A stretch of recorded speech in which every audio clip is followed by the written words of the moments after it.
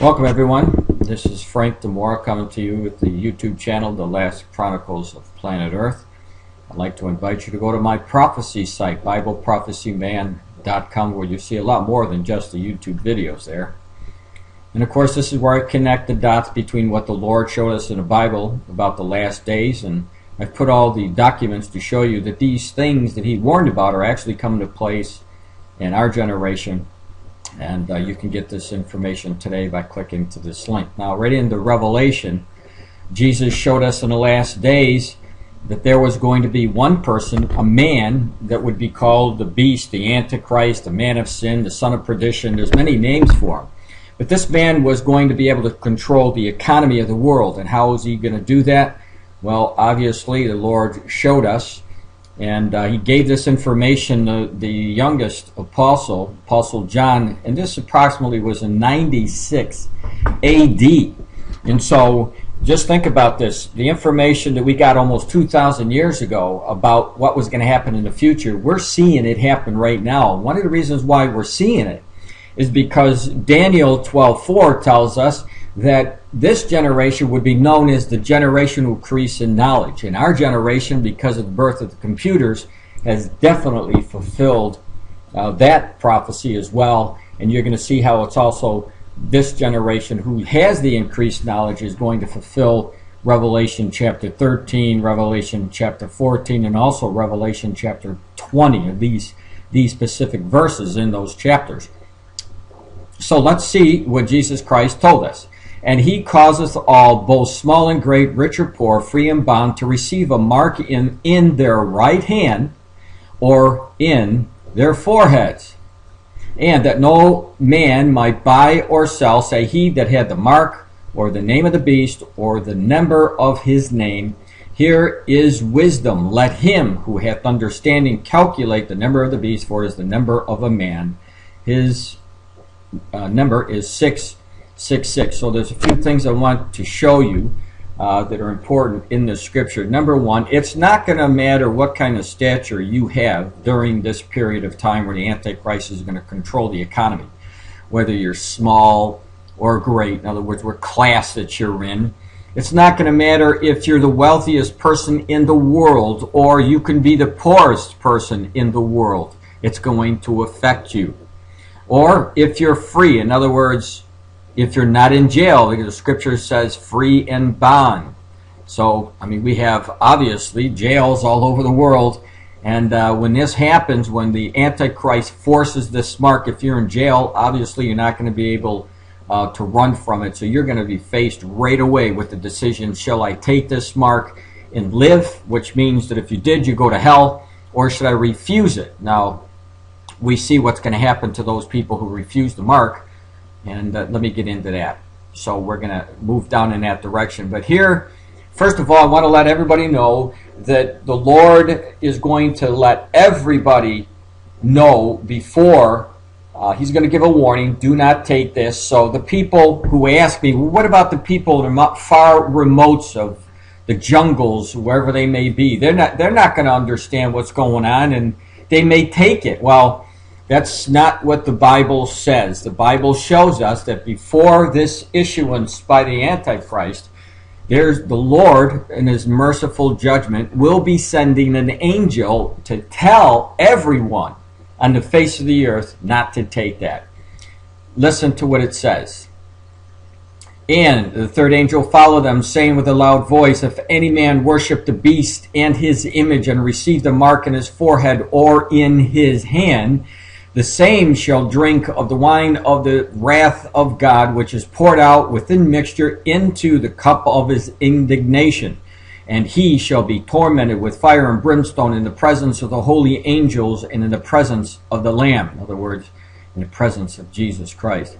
And the smoke of their torment ascended up, get this, forever and ever.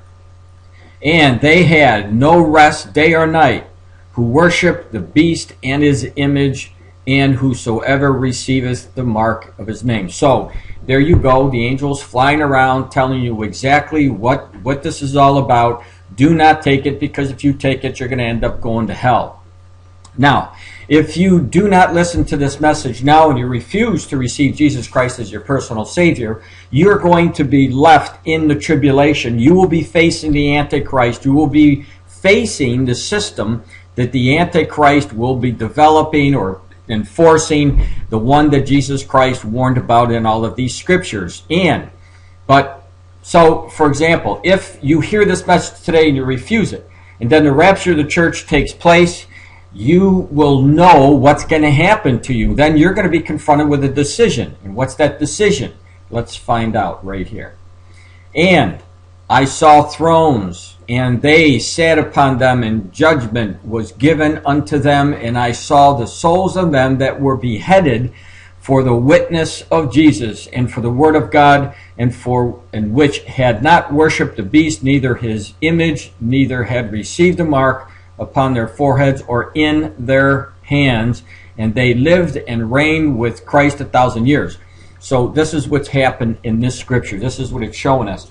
During the tribulation, many are going to remember what we witnessed to them about these coming events, and they're going to say, No, I'm not going to take this uh, mark, and they will become the new Christians, the new saints during the tribulation because the, the saints now on earth were going to be transported into heaven at the rapture. There's going to be more saints that will come after the church, and these are the people who will give their life. They'll be martyrs for Christ, as we see right here, and the Lord tells us beforehand how these people will die.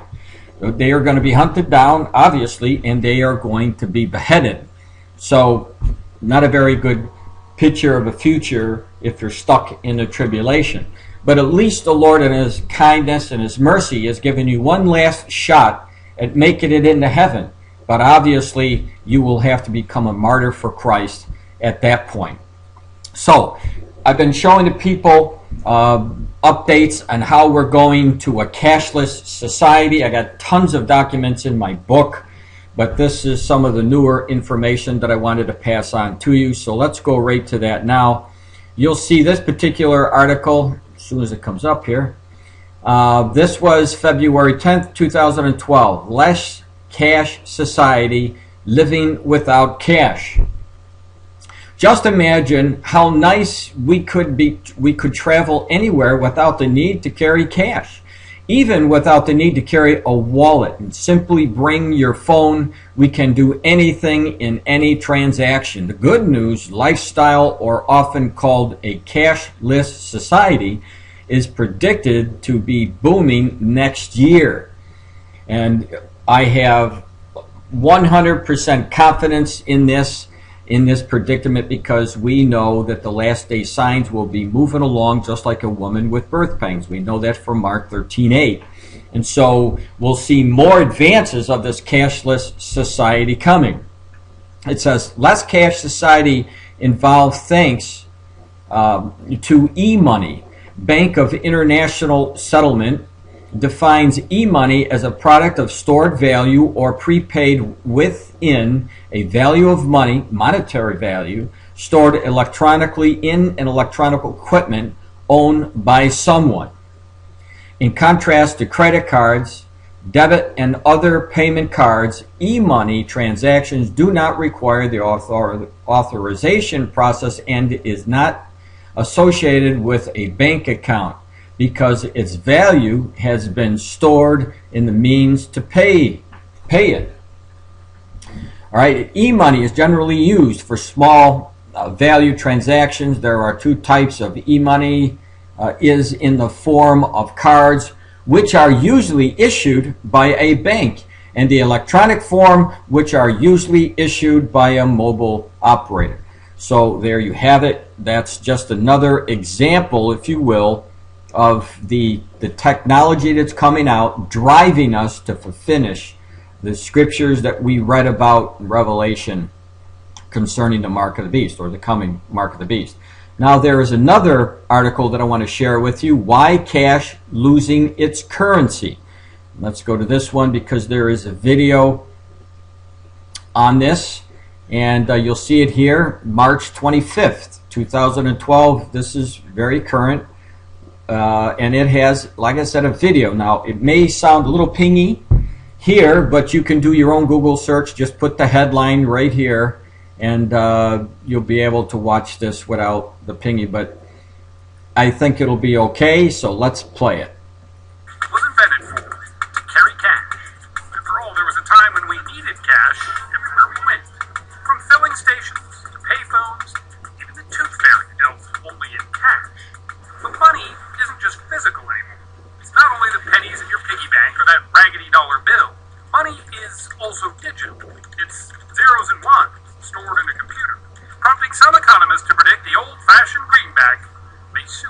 Soon be a goner.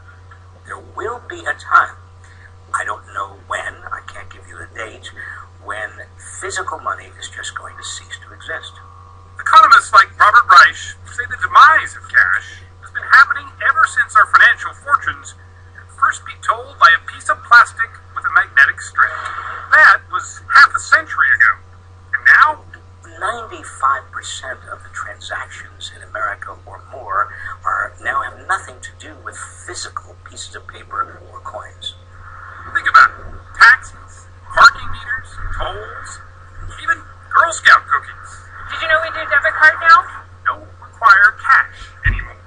All proof argues some that cash's days are numbered. 22 and 32 years from now, will cash still be here? I think we could put it in the grave already. Author David Wolman, in his new book, The End of Money, Well, I don't know argues what's I don't know what happened to the video, but I'm still going to play it so you can hear it. And you'll be able to actually watch it once you go uh, to the site and uh, download it for yourself. knock against cash is that it's costly. It's really expensive to move it, store it. Well, let me just try something for you here. There you go. I think we could put it in the grave already.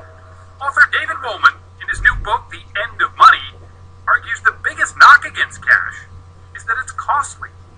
It's really expensive to move it, store it, secure it, inspect it, shred it, redesign it, resupply it, and, around and around we go. It already costs the U.S. government almost twice as much to make a penny and a nickel as they're actually worth. But that's only one cost. Cash, Wolman says, is also the currency of crime, bankrupt, drug deals, bribes, and there's something else. It's just not particularly clean. It's gross. I'm with you. I'm right there with you. It's pretty gross. The filth factor alone, he says, should make cash a no-no in food establishments, like his neighborhood ice cream shop, Salt and Straw, in Portland, Oregon. So that is one pint. It's eight dollars. Owner Kim Malek isn't about to turn cash down, not yet anyway, but she is happier when people pay with their smartphones instead. She's using a new app called Cardcase, essentially a digital wallet. Let's say you wanted to get a haircut, and the barber shop, like this one, takes Cardcase. All you do is register, and you create a virtual tab right on your phone. So when it comes time to pay, you don't pull out your wallet or your credit card. You don't even have to pull out the phone.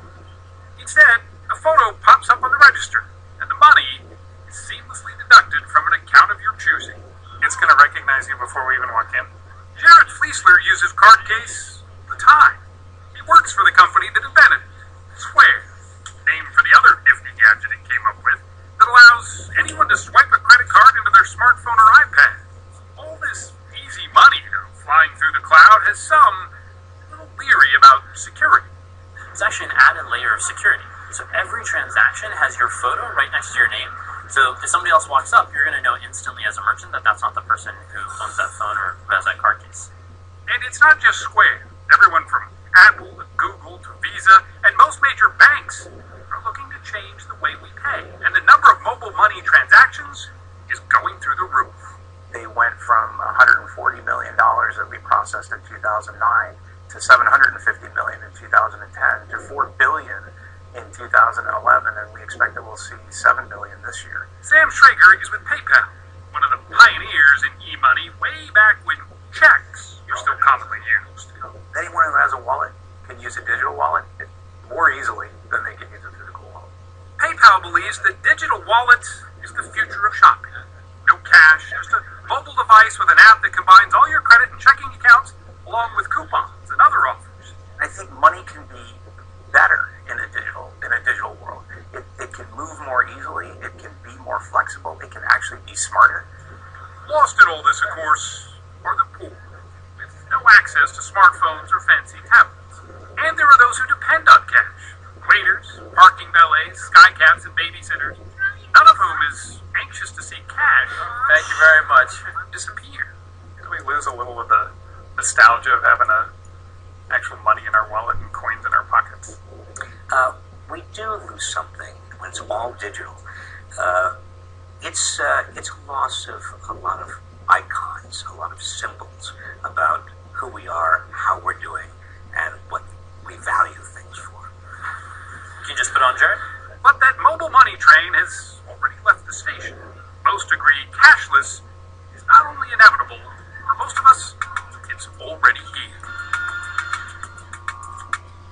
So, what are the chances now that it won't happen?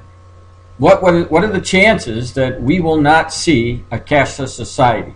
Well, i let me tell you, I hate to break, you know, the, be a bad bearer of uh, bad news, but knowing what the Lord told us and knowing where we are going right now, I can assure you 100% that before it's all over, this world will be dealing with a cashless society, and just as the Lord said, who is going to be using this cashless or enforcing it would be the Antichrist. Now, in my book, I give you a lot of scenarios how this can come about uh, fairly quickly, but just breaking it down in a nutshell. Uh, if you see that there's terrorist attacks or major war where there's uh, problems, it could even be a civil war among the different nations where they call martial law, they could immediately establish a new way of doing business by chips in the hand, where you wouldn't be able to do anything unless you had these chips that came out. So it could be anything. It could even be a natural disaster that could call martial law in many states, like we've been seeing in many of the different countries after major storms where they call martial law. Well, if it, it was a prolonged problem, we may see the, the issuance of these uh, chips right away. And of course, we know when that's going to happen. It'll happen during the tribulation with the Antichrist.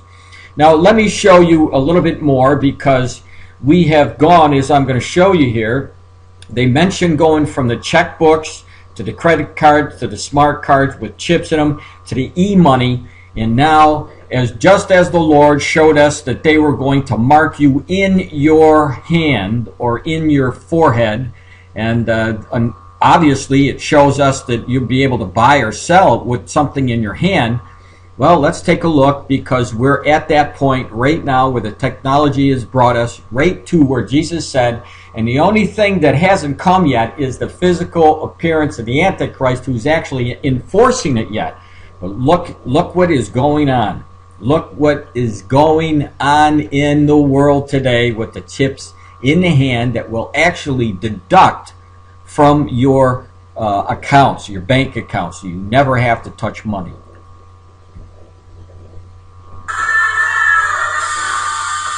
But some citizens are embracing the age of Big Brother.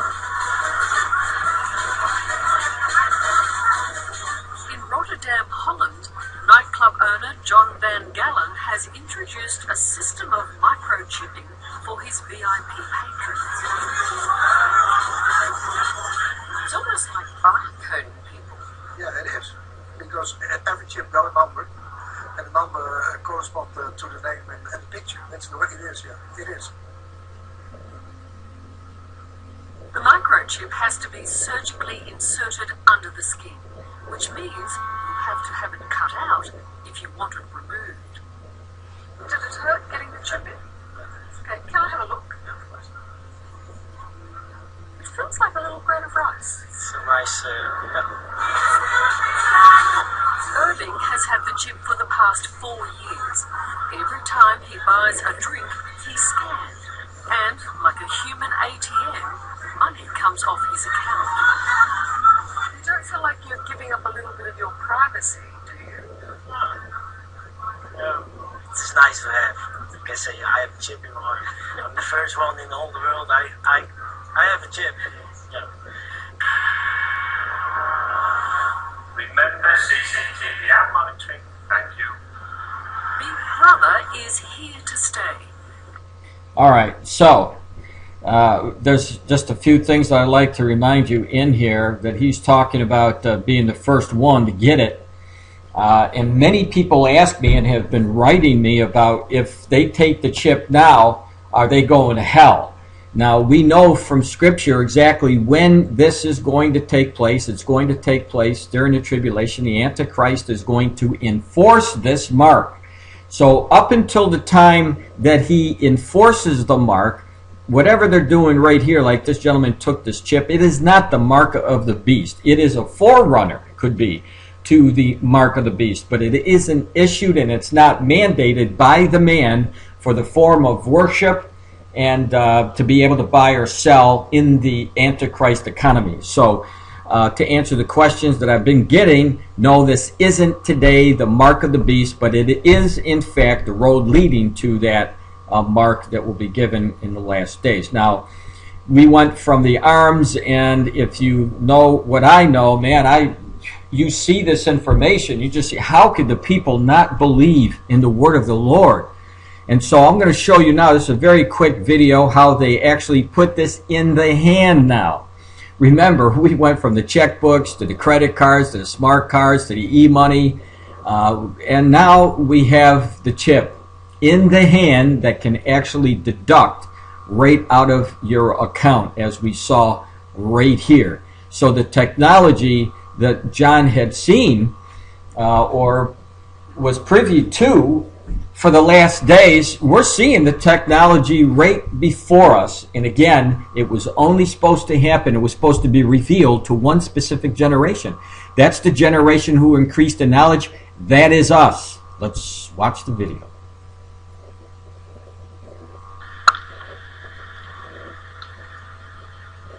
And there it is, just a little syringe, and it only takes about 12 or 13 seconds to do it. And that's it. It's in. That's it. So we're looking at a product of what John may have seen in 96 AD, approximately 96 AD. But whether he actually saw this technology I can't tell you because there's a lot of different technologies, and you'll see that in my book that will able to do the same thing to deduct from your checking account. And so that is it. This we are here already. And the only thing that I believe that hasn't happened yet is a major problem within the global economy that forces a new brand new system that the Antichrist will eventually uh, monitor and run. And the way things are going with the global community as far as the economy goes, I would say that we're well on the road.